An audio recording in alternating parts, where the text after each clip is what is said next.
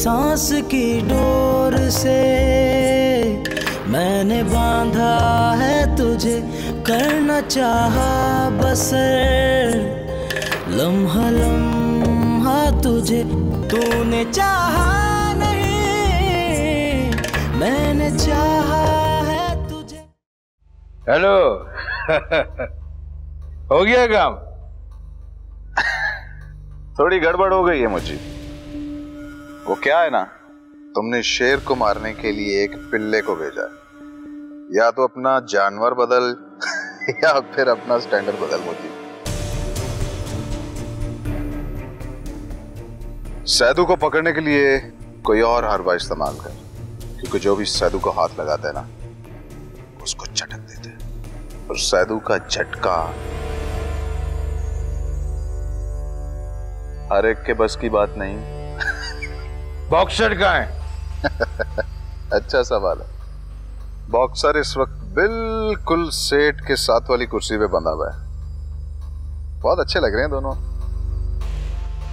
देख सैदू देख तू आग से खेल रहा है। पूरी तरह झुलस जाएगा। ओए मुझे खेल तो वही है जिसमें जान चली जाए। बाकी तो सब मज़ाक है। अब तुझसे मुझी ही निमटेगा। याद रखना। मुझे एक बात याद रख। जितना तेरा टोटल दिमाग चलता है ना, इतना मेरा अक्सर खराब रहता है। चल, फ़ोन रख।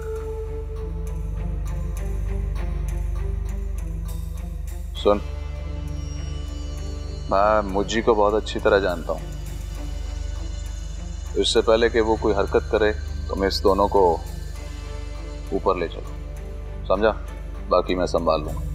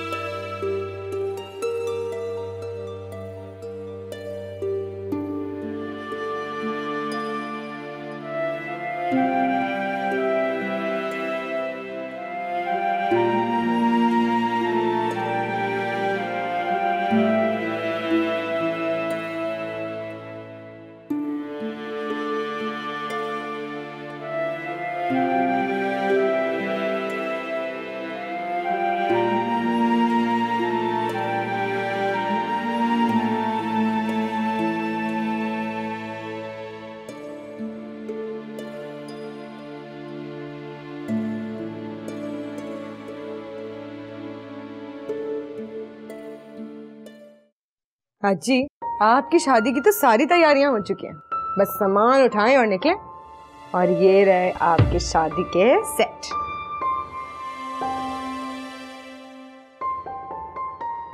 खोले।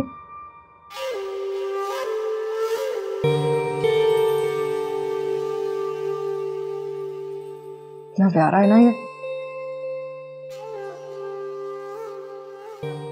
आई अरमा बेटी शादी वाले दिन कौन सा सेट पहनोगी?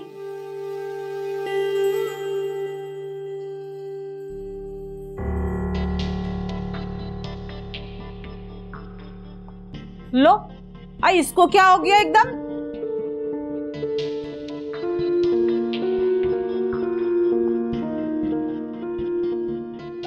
क्या प्यारा है ये बीजी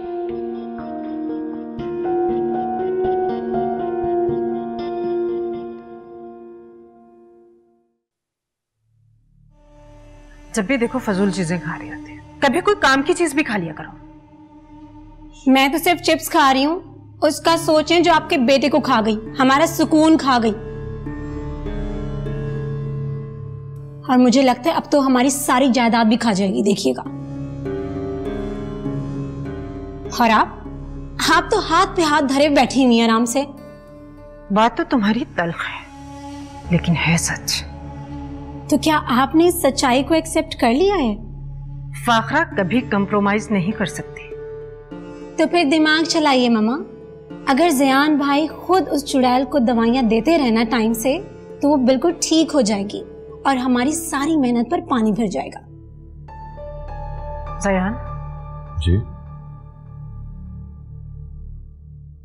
सारा कह रही थी कि तुमने मुझसे कोई ज़रूरी बात करनी है?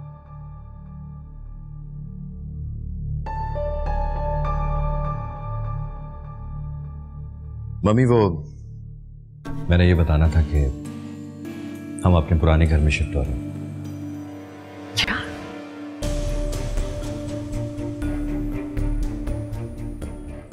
दिमाग ठीक है तुम्हारा? ये क्या कह रही हो तुम? ये बैठे बैठे क्या सोची है तुम्हें? मैं मजबूर हूँ। ऐसी भी क्या मजबूरी आ गई है? लोग आगे बढ़ते हैं।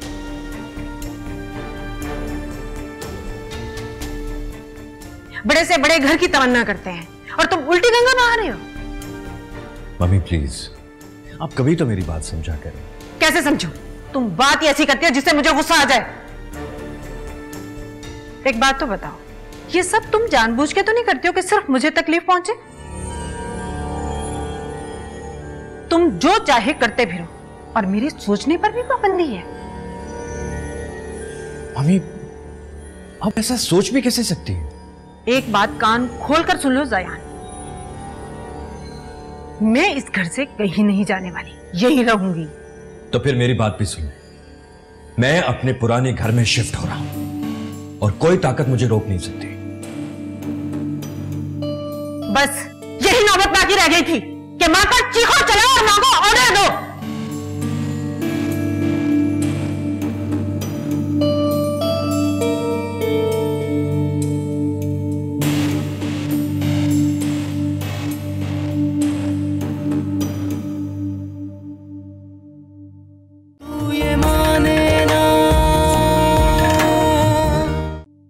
मैंने सारी पैकिंग कर ली और सारा सामान भी रख लिया है। लेकिन मुझे ये समझ में नहीं आ रहा, हम क्यों जा रहे हैं? यहाँ से क्यों शिफ्ट हो रहे हैं?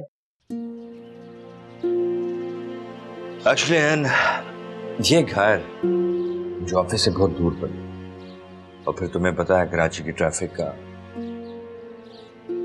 कई कई घंटों लाइन में लगना पड़ता है। तो मैंने सोचा कि क्यों ना ऑफ़िस के पास शिफ्ट हुआ जाए। So that is the reason पता नहीं क्यों मुझे ऐसा लग रहा है कि आप मुझसे कुछ छुपा रहे हैं। तुम्हें ऐसा क्यों लग रहा है? मैंने आज तक तुमसे कुछ छुपाया है क्या? जी हाँ बिल्कुल बोल सकते हैं। पर्दों का कोई भरोसा नहीं है।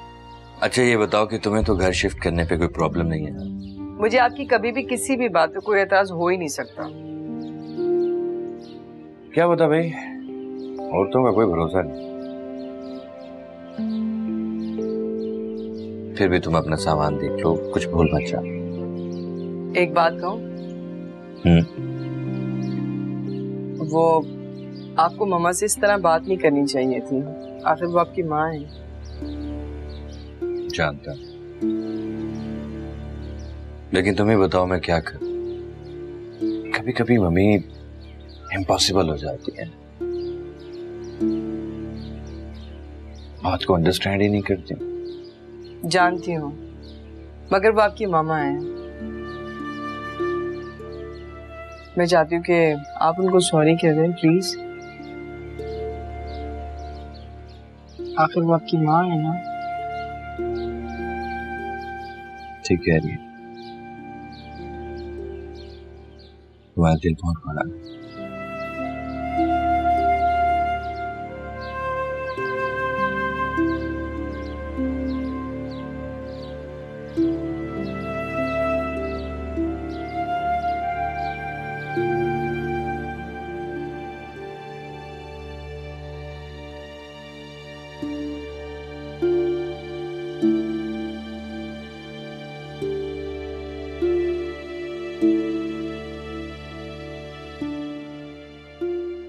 मम्मी, I'm सॉरी मुझे उस अंदाज में आपसे बात नहीं करनी चाहिए थी। लेकिन मैं क्या करता? I was really upset, that's why. लेकिन मेरे पास इसके अलावा कोई और हल भी तो नहीं है कि मैं यहाँ से शिफ्ट हो जाऊँ। मम्मी डॉक्टर्स ने कहा है कि एन को कभी भी ब्रेन हेमरेज हो सकता है। क्या? ब्रेन हेमरेज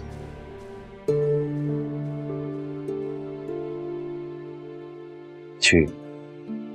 इसलिए मुझे फ़ौरन शिफ्ट होने का फैसला करना पड़ा। लेकिन आप बेफिक्र रहें, मैं मैं अपनी मर्ज़ी आप पर मुसलत नहीं करूँगा। आप यहाँ रह सकती हैं।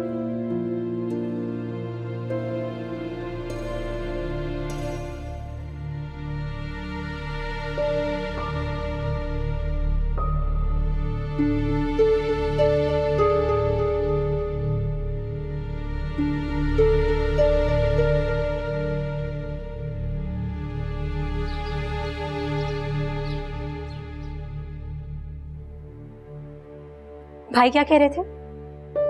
और आपका गुस्सा इतना ठंडा कैसे हो गया?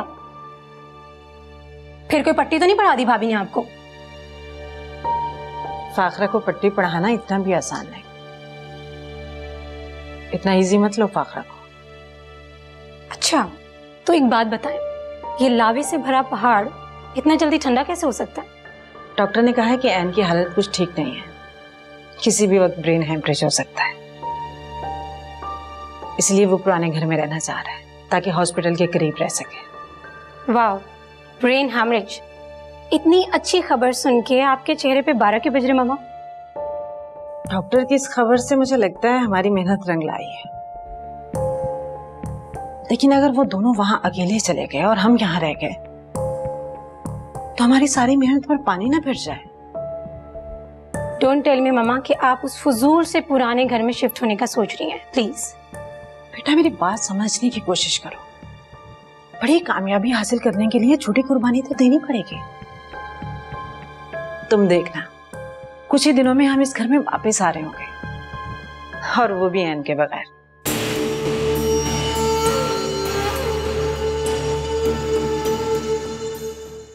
चलो भी सामान उठाओ। अरे भाई, ध्यान से, इसमें कांच का सामान है।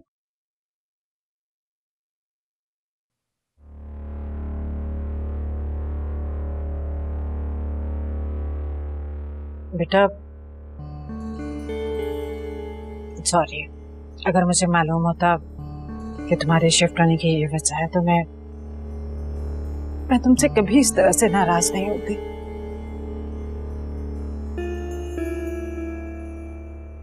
लेकिन मेरे बच्चे, मैं तुम्हारे बगैर इस घर में कैसे रहूँगी? मेरी गृहस्थी तो मेरे बच्चों के साथ।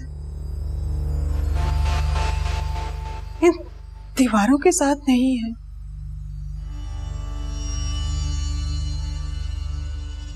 मैं तुम्हारे बगैर इस घर में नहीं रह सकती। मैं भी तुम्हारे साथ चलूँगी।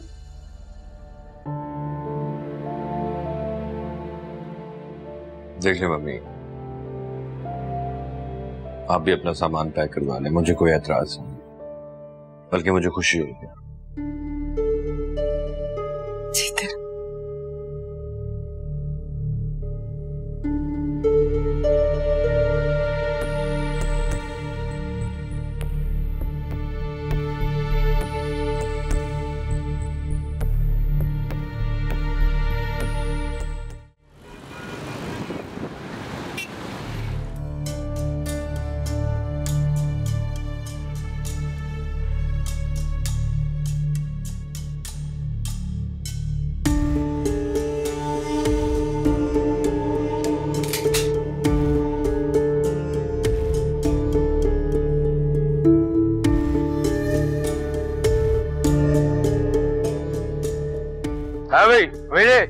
नहीं मुझे भाई। अबे कोई तो काम कर लिया करो मुझी के बगैर। आओ आओ वतन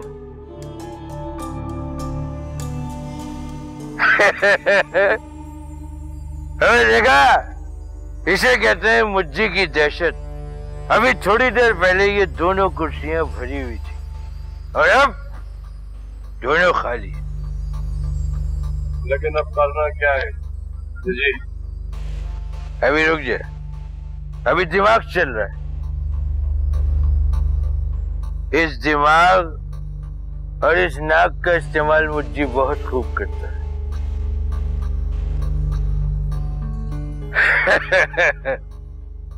अबे साधु मुज्जी को उसकी सीट से उठा के तूने अच्छा नहीं किया। पठान, यहीं पर है।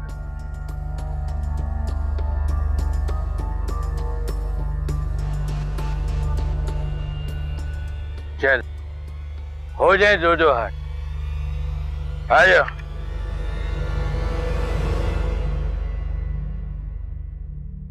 यार यार सैदू मैं तुझे समझा रहा हूँ। तू मुज्जी भाई को हल्के में ले रहा है। जो जी आगे बढ़ने के लिए रिस्क लेना पड़ता।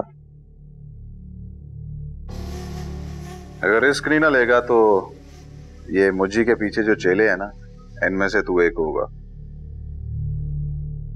बड़ा सोचो, बड़ा करो, बड़ा मिलेगा। समझा? अच्छा जा बाहर जाके मुआयना कर। चल जा, शाबाश। अबे जाना जा। अबे, ओ। बॉक्सर के बच्चे। ये हिलजुल थोड़ी कम कर। अगर मैं यहाँ से हिल गया ना तो थोड़ा ज़्यादा हिला दूँगा तुम्हें। अभी जाने का सोचो भी मत। सुकून से बैठे रहो।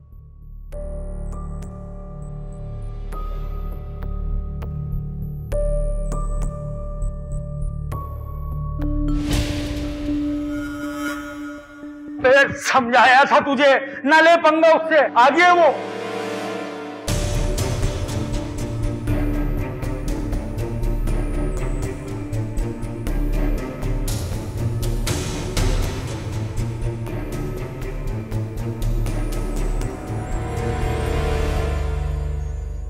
हाँ भाई। समझाया था ना तुझे?